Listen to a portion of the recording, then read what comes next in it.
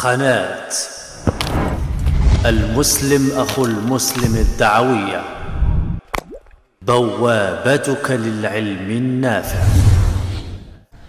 أحسن الله إليكم يقول السائل. بعض الطلاب إذا قيل له احفظ القرآن وبعض المتون يقول أنا لا أستطيع وأجد صعوبة فما علاج هذا اليأس؟ القضية قضية تعود وكسل. والحفظ سهل. والله عز وجل يسر القرآن. ولكن الإنسان إذا تعود على قضية فإنه يتقاصر عن غيرها. وأنا أقول إن الذهن كالطفل يدرب ويعود.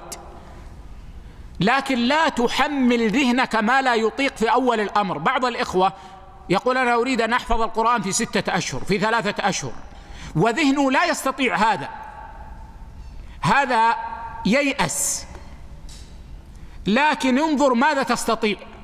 تستطيع أن تحفظ ثلاث آيات ابدأ بهذا. في كل يومك تحفظ هذه الآيات الثلاث. وأنت في السيارة تردد الآية الأولى. وأنت في مكتبك ليس عندك شغل تردد الآية. طوال اليوم إذا وجدت فرصة. ثم في اليوم الثاني تحفظ ثلاث آيات أخرى.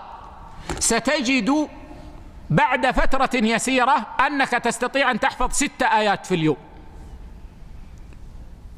ثم بعد فترة يزداد حفظك.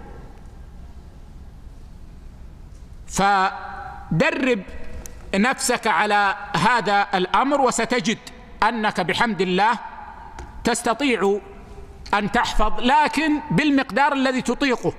ولا تنظر إلى الآخرين. لا تقل فلان حفظ القرآن في سنة إذا أنا أحفظ في سنة. الله فتح عليه في سنة. ربما تحتاج أنت إلى ثلاث سنين. لكن المهم أن تحفظ. ولو بعض القرآن الذي تستطيعه. ما تستطيع أن تحفظ القرآن كله احفظ ما تستطيع.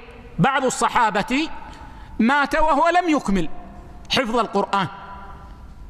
وهذا لا يعيبه ولكن ينبغي علينا أن لا نستسلم للكسل والعادة.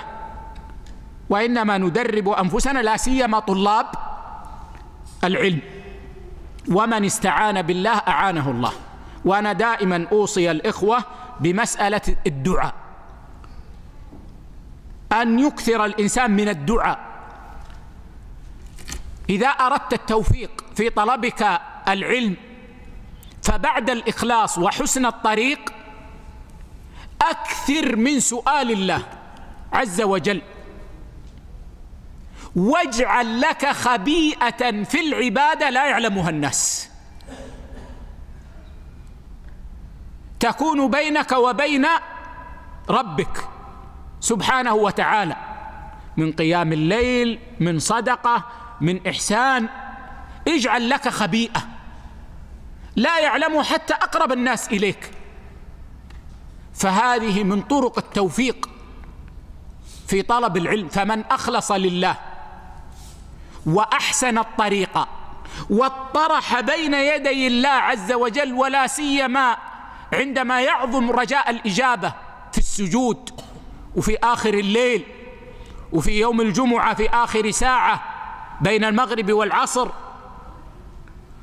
وجعل بينه وبين ربه خبيئة لا يعلمها الناس. فإنه حري بأن يوفقه الله عز وجل. وأن يحقق له مراده في طلب العلم. نعم.